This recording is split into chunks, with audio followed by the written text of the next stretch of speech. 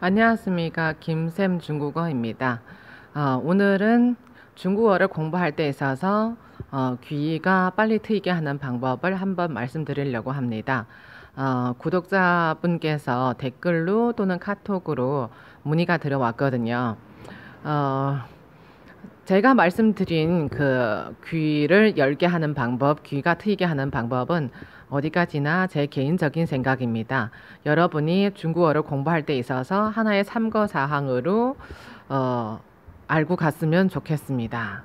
자, 일단은 첫 번째, 어, 첫 번째 바로 여러분들이 다 알고 있는 거가 되겠죠.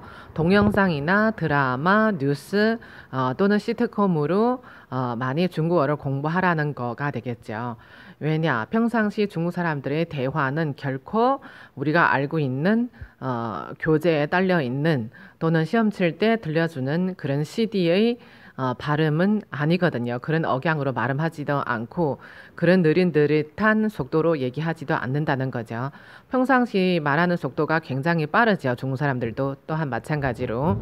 자, 예를 들면 니 칠파할라마, 아, 칠파할라마, 아, 칠파할라마, 아, 치메츠야 이런 식으로 빨리 얘기가 어, 하는 거죠. 얘기를 하는 거죠. 어, 그렇게 빠른 속도로 대화하고 있는 중국 사람들의 말을 알아들으려면 내가 어떻게 해야 되냐? 어, 제 개인적인 생각은 일단 어, 본인의 어, 말하는 속도도 빨라져야 한다는 거죠. 본인의 말하는 속도도 빨라져야 된다는 거죠. 내가 말하는 속도가 빨라져야만이 상대방이 어, 빨리 얘기하는 소리도 들린다는 거가 되겠죠. 자, 그러면 내가 말하는 속도가 빨라지려면 어떻게 해야 되냐면 일단 당연히 숙달이 되어야 되겠죠. 자, 구체적으로 방법은 예를 들면 공부할 때, 자, 선생님이 어, 일단 단어를 먼저 얘기하죠. 저 같은 경우는 계속 이런 방법을 사용하고 있습니다.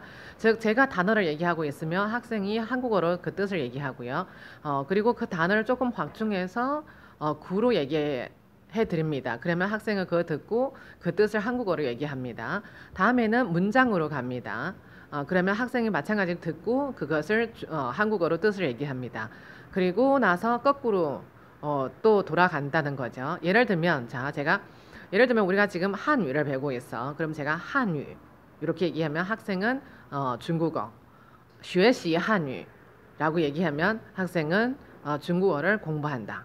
다음에 제가 我们都学习汉语라고 얘기하면 학생은 아, 우리는 모두 중국어를 공부한다. 이렇게 답변을 얘기하는 거죠. 그럼 제가 속도가 좀 더 빨리 해주게 됩니다. 한유, 学习汉语,我们都学习汉语,我们都学习汉语,学习汉语.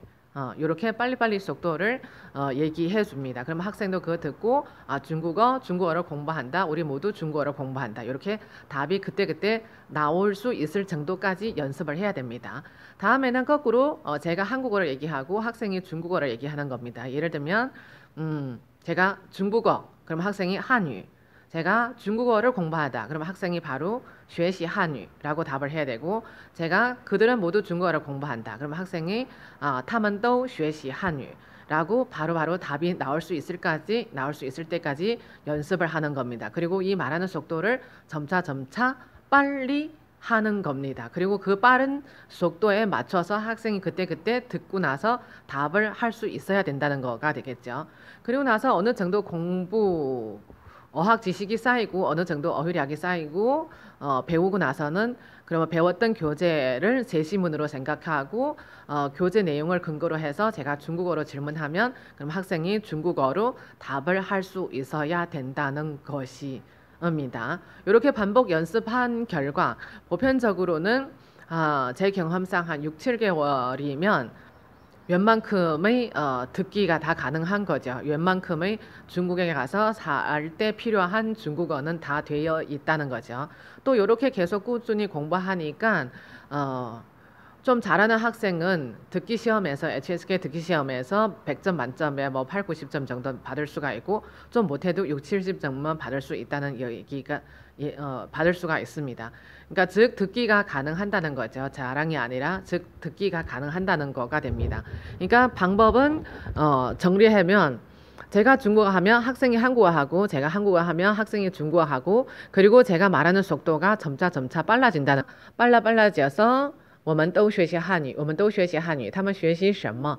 他们学习什么? 이렇게 어, 속도를 점차 빨리빨리 해서 어, 듣게 하는 겁니다.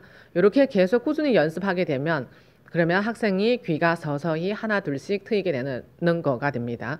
근데 여기서도 조건이 학생이 아는 어휘량이 많아져야 된다는 거죠. 보편적으로 볼 때 본인이 알고 있는 배웠던 어휘 중에서의 일부분 많이 들리게 되는 겁니다. 그래서 일단은 내가 아는 것이 많아야 되겠죠. 그래야지 들리게 되는 거고. 근데 만약에 내가 아는 거가 없어도 계속 계속 꾸준히 듣다 보면 어 귀가 트입니다. 이것저것 들리게 되는 거죠. 다만 듣고 나서도 그 뜻을 모르게 될 뿐이죠.